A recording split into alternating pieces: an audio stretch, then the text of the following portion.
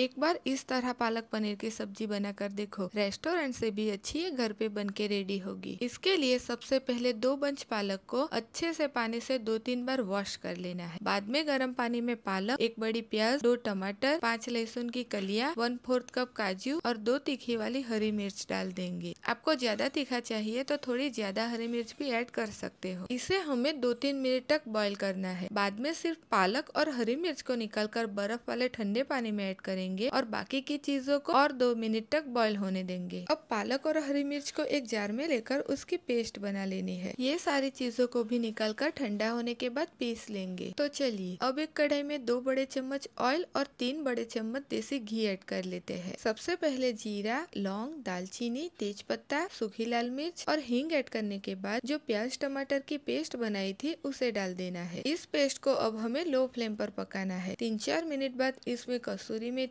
गरम मसाला और थोड़ी हल्दी ऐड करने के बाद फिर से लो फ्लेम पर चार से पाँच मिनट तक सौते कर लेंगे। अब हमने जो पालक की पेस्ट बनाई थी, उसे ऐड करेंगे। इसे भी हमें लो फ्लेम पर पकने देना है। तब तक हम 300 ग्राम पनीर को हाई फ्लेम पर ऑयल में अच्छे से गोल्डन ब्राउन होने तक सौते कर लेंगे। अब पनीर भी हो गया है तो इसे निकल कर गर्म पानी में डालेंगे ताकि वो अंदर से भी सॉफ्ट बना रहे। यहाँ पर ग्रेवी को पकते हुए भी पाँच से सात मिनट हो गया है। तो अब हम इसमें नमक ग्रेट किया हुआ पनीर फ्राई किया हुआ पनीर और फ्रेश क्रीम ऐड करके सबको हल्के हाथों से अच्छे से मिला लेंगे। अब दो चम्मच गरम ऑयल में जीरा, हींग, दो चम्मच बटर और गार्लिक डालकर सेक लेंगे। बाद में गैस बंद करने के बाद उसमें आधी चम्मच Kashmiri red chilli powder add करके जो तड़का है वो सब्ज़ी में ऐड कर देंगे। तो रेडी है हमारी बहुत ही डिलीशियस होटल से भी अच्छी पालक पनीर की सब्ज़ी। सर्व करते टाइम ऊपर से थोड़ी सी फ्रेश क्रीम और डालेंगे। ये सब्ज़ी बहुत ही क्रीमी और टेस्टी बन के रेडी होती है और छोटे बच्चे भी इसे खा सकते हैं क्योंकि ये बहुत स्पाइसी भी नहीं होती।